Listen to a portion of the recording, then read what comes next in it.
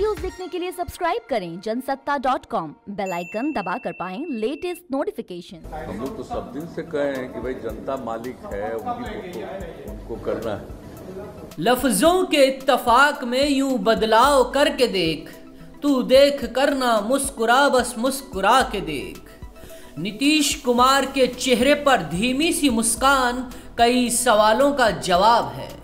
बिहार की जनता ने जेडीयू को तीसरे स्थान पर रखा और नीतीश की ज़ुबान पर ये शब्द आकर ठहर गए। जो भी करेगा, अब एनडीए करेगा। कल तक तो तय था कि नीतीश सीएम बनेंगे।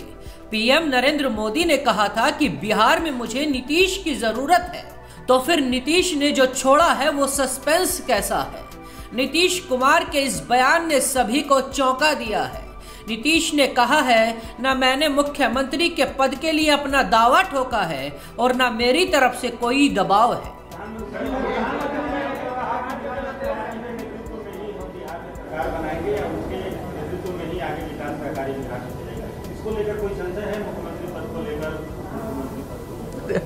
तो मीटिंग होगी, उसके बाद हो ही जाएगा ना तो हम लोग क्या करना एक बात हम बहुत साफ़ आपको कि भाई, कोई मेरी तरफ़ से आपने देखा है कि कभी हम दावा करते हैं? हम कभी करते हैं? हमने तो काम किया। और एनडीए का ये निर्णय होता तो जो एनडीए का निर्णय होगा, वही ना मान्य होगा।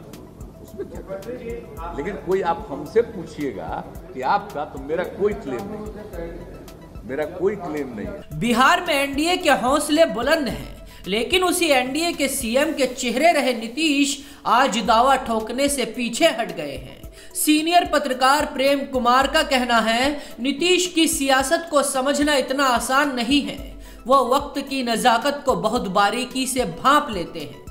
नीतीश कुमार की सियासत को समझना हमेशा से मुश्किल रहा है। जो नीतीश करते हैं, वो बताकर नहीं करते। नीतीश कुमार अगर आज कौन होगा मुख्यमंत्री, इस बात पर कुछ बोलना नहीं चाहते हैं। तो इसका मतलब यह है, यह नहीं है कि उन्होंने मुख्यमंत्री पद पर अपनी दावेदारी छोड़ दी है। एक बात साफ़ है कि नीतीश कुमार ये जान चुके हैं कि जो जनादेश है, वो उनके खिलाफ है। मुख्यमंत्री के तौर पर उनकी आखिरी अपील के बावजूद कि ये उनका आखिरी चुनाव है, मतदाताओं ने उनकी पार्टी को इकहत्तर से बयालीस के दर्जे पर ला दिया। एनडीए में दूसरे दर्जे की पार्टी बना दिया। ऐसे में उनका मॉरल ग्राउंड फिर से मुख्यमंत्री बनने का नहीं रह जाता है। अब सवाल यह है, कहीं बिहार की बदली सियासत में सीएम का चेहरा बदलने पर मंथन तो नहीं हो रहा है? क्या चौहत्तर सीटों पर विजय पताका लहराने वाली बीजेपी नीतीश के अरमानों पर पानी तो नहीं फेर डालेगी?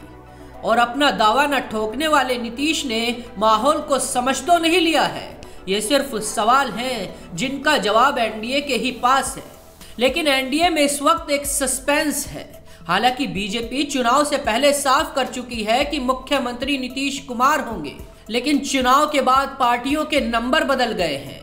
अगर सीएम भी बदल जाए तो आश्चर्य कैसा? नीतीश कुमार खूब जानते हैं कि भारतीय जनता पार्टी के कार्यकर्ताओं के मन में यह क्षोभ है, या वो चाहते हैं कि संख्याओं के आधार पर यदि सरकार में भागीदारी होती है तो क्यों न भारतीय जनता पार्टी के ही मुख्यमंत्री बनाया जाए? क्योंकि संख्याओं के आधार पर वो सबसे आगे है एनडीए में। महत्वपूर्ण ये है कि नीतीश कुमार की ताजपोशी संभव है कि 16 तारीख को कर दी जाए। क्या ये पाँच वर्षों के लिए है या इसके अलावा भी कोई समीकरण निकल के सामने आने वाला है?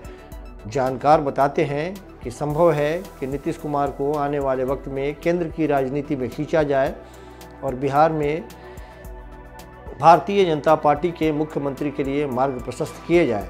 सियासत की इसी अदा पर दुष्यंत कुमार ने कहा था, मसलहत आमेज होते हैं सियासत के कदम, तू न समझेगा सियासत, तू अभी नादान है।